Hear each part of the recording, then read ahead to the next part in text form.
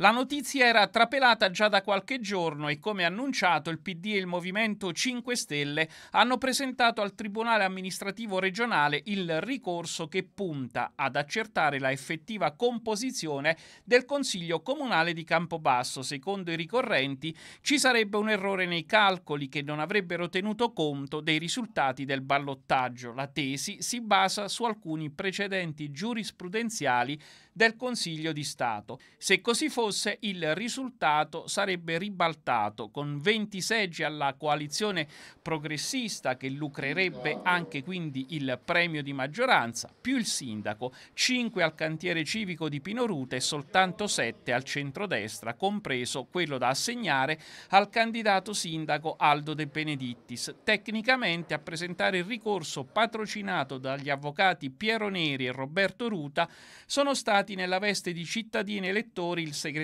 cittadino del PD Campobasso Giuseppe Delia e il coordinatore regionale del Movimento 5 Stelle Antonio Federico.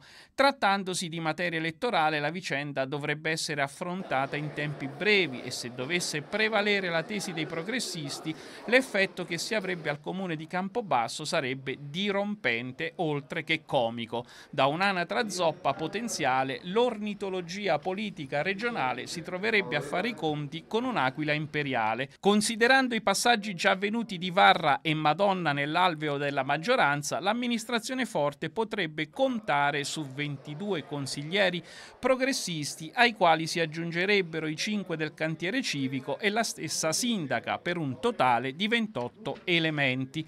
Al centrodestra resterebbero soltanto 5 seggi e un primato alla Dorando Petri che collassò al traguardo della maratona olimpica del 1908 a Londra.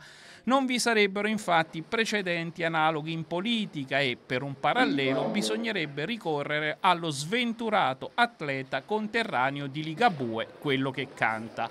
L'ipotesi tuttavia è ai limiti della fantascienza e vedremo se Delia e Federico, seppure con barba e baffi finti apposti al sembiante politico, avranno ragione e con loro la coalizione progressista.